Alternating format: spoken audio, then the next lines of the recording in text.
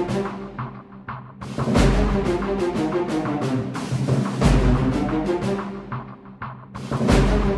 you.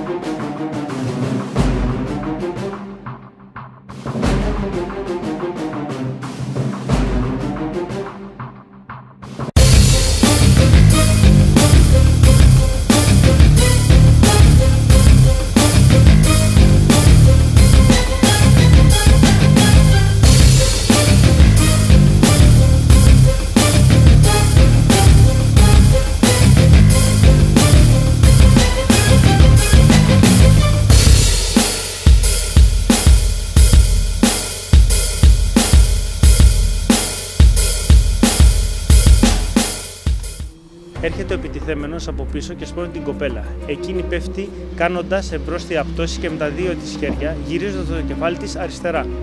Στρέφει την πλάτη της προς το πάτωμα με λυγισμένα πόδια και χέρια σε θέση άμυνας.